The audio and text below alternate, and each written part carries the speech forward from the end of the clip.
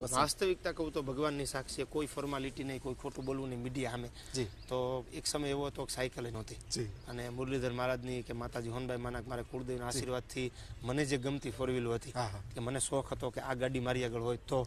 તો એમાં મને ફોર્ચ્યુનર ગમતી. જી તો ઠાકરે મને ફોર્ચ્યુનરે આપી. જી. પછી મને એમ થતું કે મારે મર્સિડીઝ લેવી છે. કે આ ગાડી એક લોગાવાળી ગાડીનો મને શોખ એમ કે કે હોય તો તો હોનભાઈ મને આશીર્વાદથી મર્સિડીસે મેં લીધી. અને મને ફરવામાં તમને કહું ને તો ફરવામાં મને ક્યારેય આઉટ ઓફ સ્ટેટ બીજે જવું એ ન ગમે. મને ફરવું ગમે ધાર્મિક સ્થળ. દાખલા તરીકે પરબ ગયા તો ખબર પડે કે ભાઈ અમરમાં તો મને એમ થાય કે લાય એના દર્શન કરું. વવાણીએ ગયા રામબાઈમાં તો એના દર્શન કરું. આવા જે ધાર્મિક સ્થળો છે ત્યાં મને ફરવું ગમે. બાકી મને બીજું ઓછું ગમે આમ જી.